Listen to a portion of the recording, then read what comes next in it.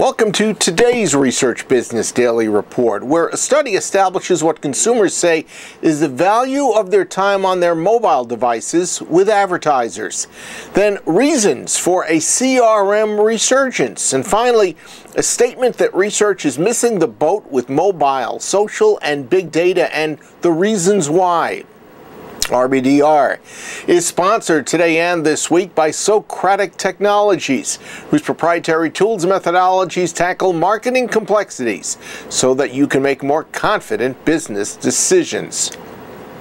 A Millennial Media Commission study polling over 4,000 consumers investigated consumers' value exchange with advertisers for their willful interaction on mobile devices.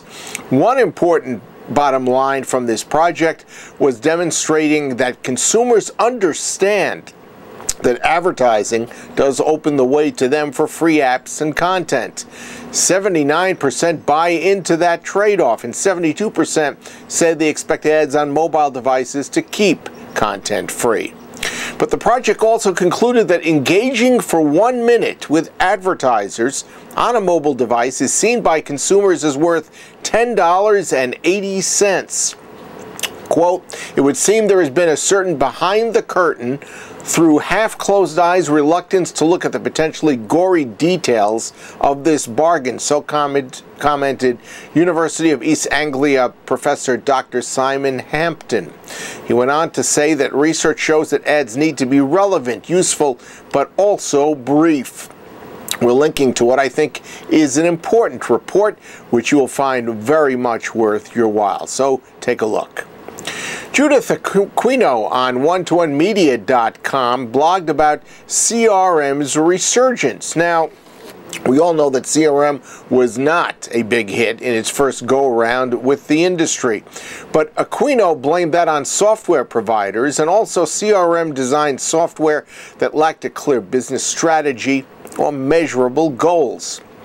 Now, Aquino says CRM is back but with much different purposes, such as connecting consumer data and helping deliver a consistent brand experience.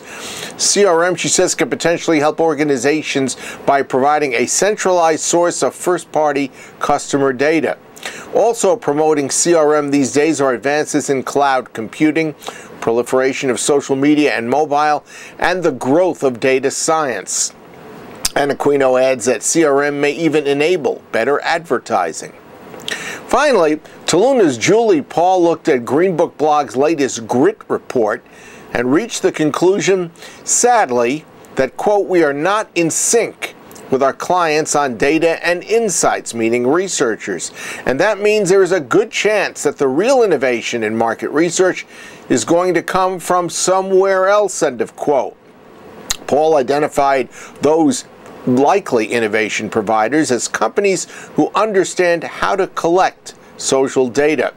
But on the glass half full side, Paul said that she senses some hope if market research thought leaders, quote unquote, wake up and recognize they can have that required edge.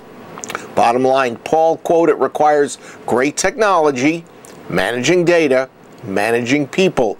The same formula as in the past, just with a few more ingredients added.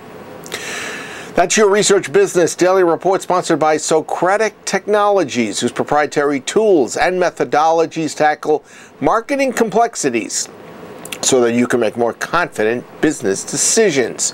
You're invited to check out, in fact, encouraged to check out sotech.com to find out more about a terrific research agency. Have a great research day, and we'll look forward to seeing you back here tomorrow with more Research Business Daily Report.